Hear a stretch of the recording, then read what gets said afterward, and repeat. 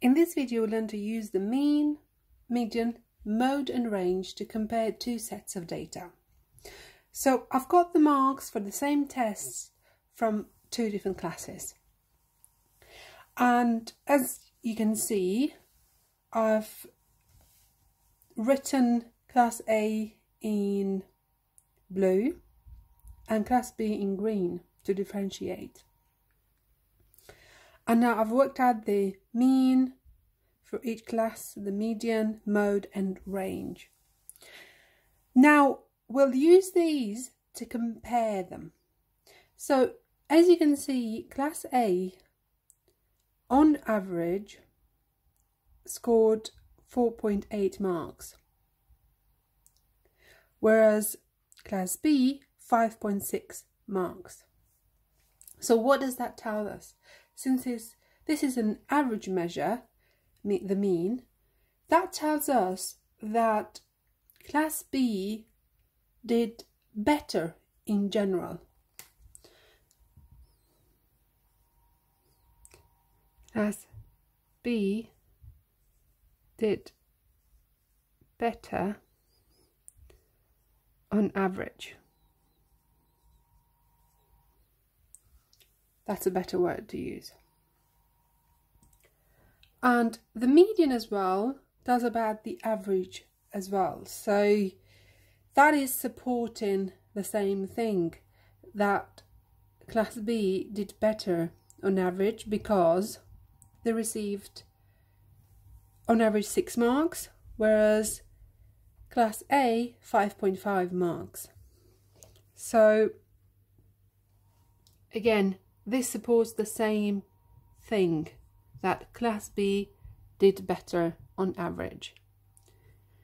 In terms of the mode, which is the most common value, the most common mark, this shows again that the most common mark for Class B was 7, which was one mark higher than for Class A, Class A, yeah. So in terms of the mode, we can say that the most common mark was higher in class B. So that again supports the argument that Class B did better. And in terms of the range, which we know is the difference between the highest and the lowest mark, that kind of measures the spread. How spread out are these marks? And as you can see from class A, the lowest mark was 1 and the highest was 8, but that was exactly the same for class B. The lowest mark was 1 and the highest was 8. So the spread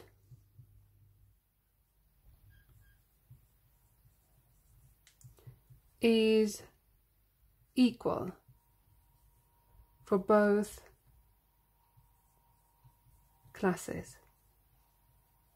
So this last bit hasn't given us much information really. There wasn't a difference between them two so we can't really properly compare but at least that shows that that spread was the same. It wasn't the case that this the mean was affected by let's say a a mark that started